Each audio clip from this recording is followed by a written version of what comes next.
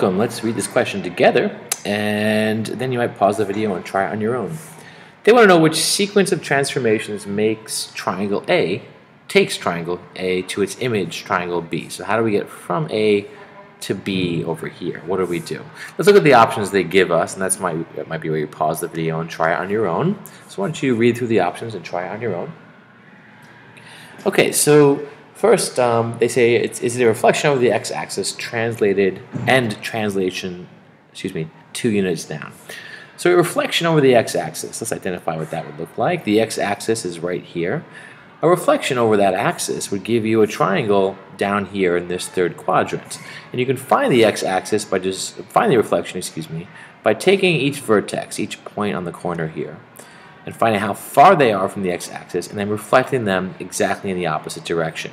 So I go down four units from this point, and then another four units in this direction will give me that point reflected. Over here I go down nine units, and then another nine here, and then I go down 4 and 4 again. So here we have, if I just draw this triangle, we might be able to see what it looks like.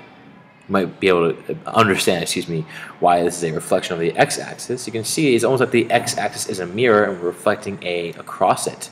Then a translation is simply a sliding up or down or up and down of a shape. Then they say take that shape and slide it two units down. So I'm going to take that again and then just take each vertex and bring them down two more points here, here, and then it's off the grid, but right there. So that would be this orange triangle ultimately, first reflected and then slid or translated down two units. But that's clearly not what we have here. If I go to my next option, they say it's a reflection over the y-axis and then um, a translation two units down. So first of all, again, take your, ver your vertex, your point right here, and now I'm going to go three units toward the axis, the y-axis. Right, let me highlight the y-axis. That's this right here. So it's three units towards the axis and then another three units past it here. That's the reflection of that point. Then we go over eight units towards the axis here and another eight here. And then we go over nine and nine again right here. So if it was a reflection on the y-axis and that only, this you would get this triangle, this purple triangle.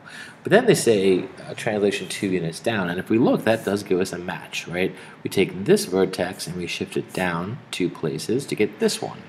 This vertex shifts down twice here, and this twice to here, which gives us this new triangle, this image, the image of A. So in these kind of situations, uh, what you might do is just test out the sequence to really understand what's happening. And so the answer is B. But just for fun, let's look at C so we can make sense of what that might look like, right? So let me just clear some of this off. Okay, so we know the answer is B, but let's just look at what C would look like. A translation two units down. So first of all, I'll take every point and bring it two units down. That gives me this triangle right here, right? I'll connect those dots. Okay, that's our translation. Then a rotation about the origin, 90 degree rotation about the origin. So uh, rotation is about the origin.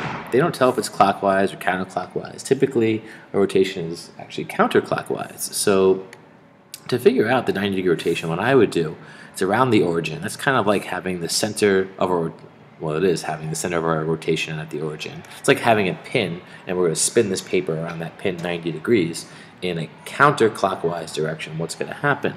Well, I'm just going to show this point. We'll start there as an example. Well, that point, if I draw a line to the origin, it's like an, a rope uh, being drawn. That's what I picture in my head. Like we're swinging this rope exactly taut, like pulled all the way. From, we have the rope from the origin to this point. We're going to swing it now 90 degrees counterclockwise. Where's that going to end up?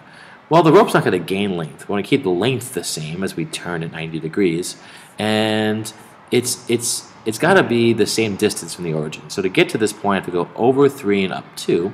So the same has to be true for our, our new point, right? And if you sort of swing that rope down, you can kind of imagine that it would end up right here. And, oops, oh boy, sorry about that. If I swing that rope around, it would end up, you can see about 90 degrees happening here. And I look for that 90 degree angle, right? I see it here. It's the angle between the line that we drew to the origin at the beginning and the new line to our new point here. It's 90 degrees. And I also noticed that our original point was negative 3 and then up 2. And now our point is negative 2, negative 3. Right? So we can see that 3 and 2, the absolute values are being used again, but they're swapped. So it tells me it's the same distance. And the same thing happens here. Um, I could draw a line all the way to the origin again, right?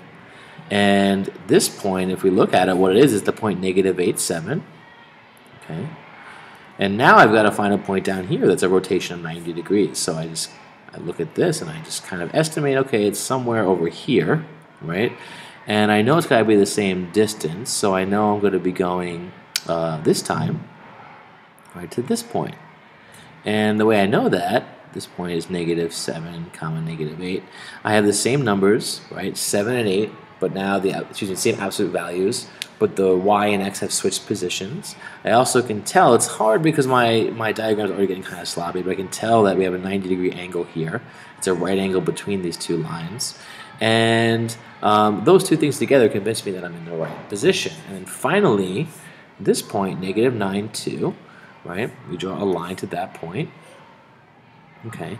And now I go to find the, um, where the new point would be if we rotated that 90 degrees around the origin. So I'm going to kind of start by estimating, and I have to keep going to get that about 90 degrees. That's about, you know, you can tell it's kind of be around here.